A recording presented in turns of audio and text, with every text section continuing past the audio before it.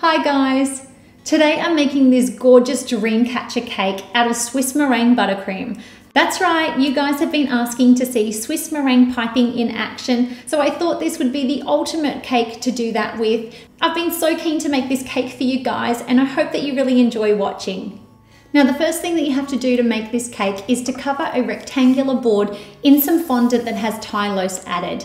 This is to help it set up and I just really like the idea of this cake being on a gorgeous board and it's going to look so much prettier being able to pipe those feathers onto a nice colourful background. Next up, I've baked a seven inch round cake. I used our vanilla cupcake recipe. I know I keep calling it a vanilla cupcake recipe and all I do is keep using it for cakes, but trust me, it's great for cakes and cupcakes and I've got the link for you below. I also have a seven inch round cake plate, as well as some spatulas, and so many beautiful colors of our Swiss meringue buttercream recipe. Again, I've got a video link for you below, and I have listed all the colors that I have used. I'm gonna add a little bit of buttercream to my board and place our first layer on. Now I'm gonna add a layer of our beautiful orange and then add your middle cake layer. Now taking our gorgeous teal shade, we're gonna add a layer of that. And Now I'm just gonna come along and get rid of that excess. Now I wanna do a really light crumb coat on this cake. So I'm gonna be using the pink shade and I'm just gonna go around very, very lightly so that you don't end up seeing it when it's cut, but it just locks in those crumbs for us. Taking a scraper, just scrape it right back and then do the top. and then pop this into the fridge for about 10 or 15 minutes to set. Okay, now that my cake has chilled in the fridge, I've gone ahead and taken my three main colors and I've placed them into piping bags. And I've put some couplers on the end so that later on we can add some piping tips. But for right now, we just want it to be nice and thick and chunky to apply the colors to the side. So the first color I wanna add is my orange because that's lining up with my filling layer. And all I want to do is go around the cake until I reach the top of that filling layer. You want to make sure you get a fair bit on there. Then come along with my teal colour.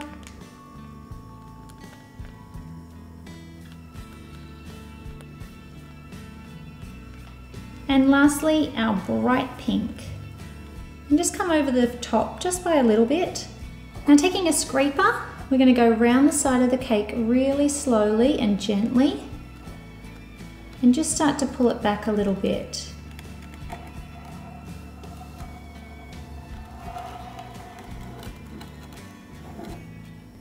Clean off your spatula and go again. And the key with this is really to do nice smooth movements and I really love the creaminess of the Swiss meringue or the Italian meringue buttercreams for this. Now coming along with a small spatula, I'm just going to draw that in. Just stopping fairly short.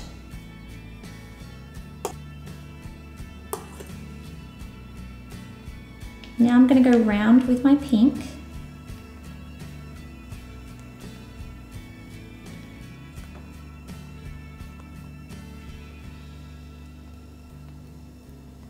And then my teal.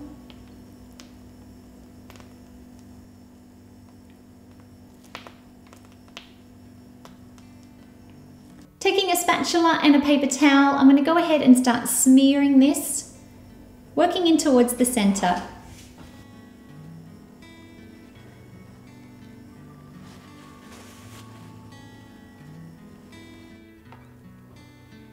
Come back with a little bit of orange and fan it out the other way. And don't be surprised if you go through a few paper towels with this one.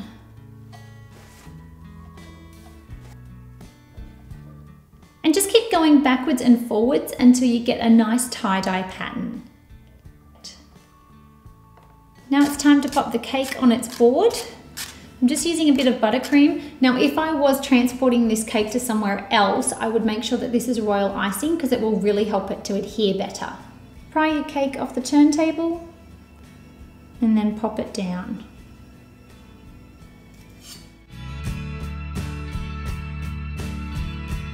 The first colour I'm going to work with is my orange and I've attached a number 12 piping tip, which is a large round tip. And what I want to do is pipe all the way around the edge of this cake. Starting anywhere you like, and I like to stay raised off the surface and go nice and slow.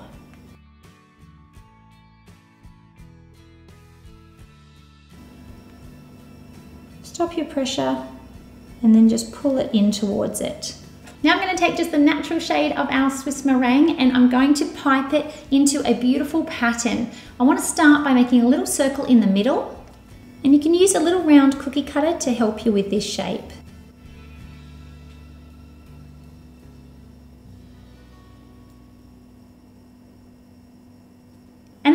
Mark out exactly where 12 points are like a clock. Nice and easy. You just want to break this up and make it easy to manage this piping. Then start piping, staying nice and raised off and we want to make a big teardrop shape.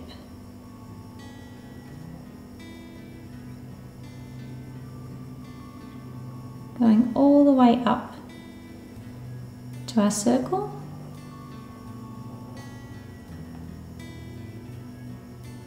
and all the way around.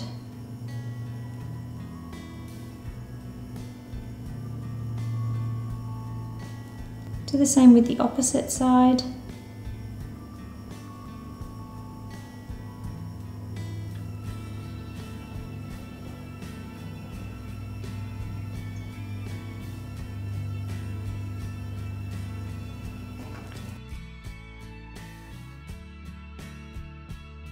Work on the first four and then you can slowly add the rest.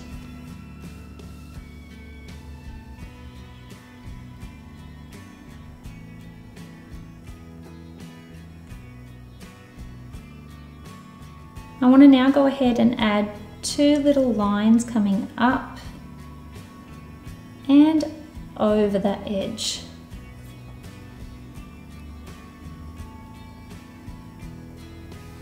Look like little ties.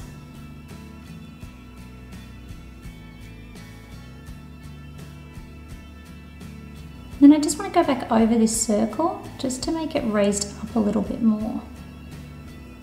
Just follow where it was. Now the really fun bit begins where we get to add some more personality to this cake, add in more of those gorgeous colors that I showed you earlier, and work on any little imperfections. So if there's any bits on the top that you had where maybe you just accidentally dropped it for a second and had to restart your piping, go ahead and make it a feature. Pop a little bead in there. And I'm just using number five and number three tips for these.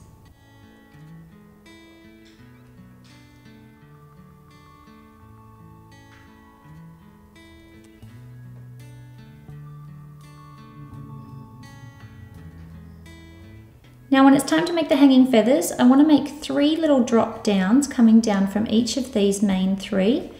And I'm going to use a number five tip as well as a number three, just to add some variety.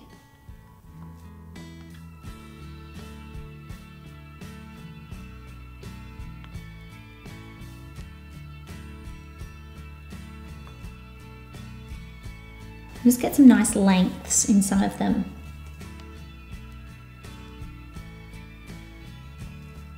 To start by adding the feathers. I'm using a number three tip, swoop in and then out.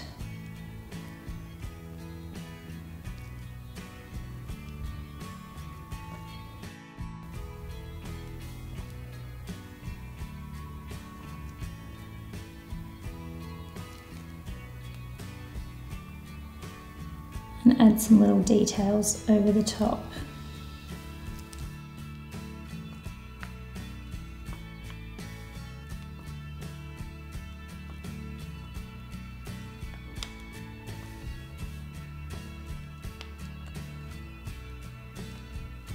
just slowly work them into the center.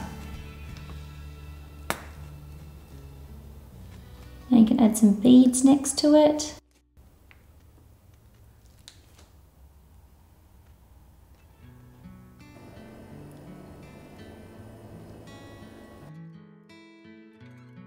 And you can add another feather.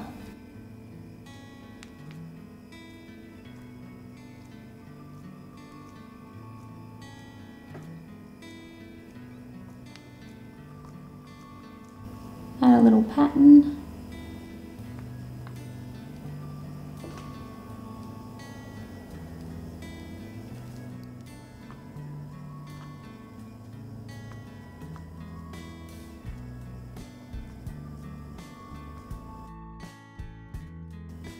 And I want this one to have a second feather. And a cute little pattern again, little V's, which kind of turn into tiny little triangles.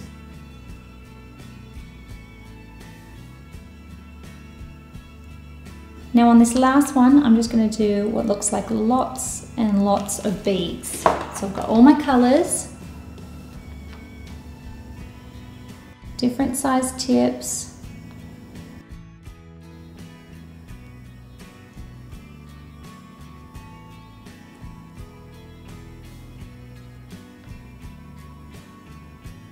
And then just go around and jazz it up a little bit. A few more little patterns.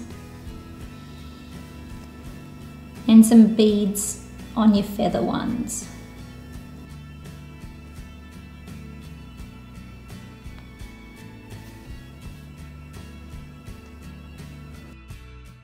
And there you are guys, we have our dream catcher cake. Like I said, I've been so excited to share this one with you. I've been wanting to make this one for a little while. You guys have been requesting to see some Swiss meringue buttercream piping in action. So I hope that you really enjoyed this and I can't wait to share more with you.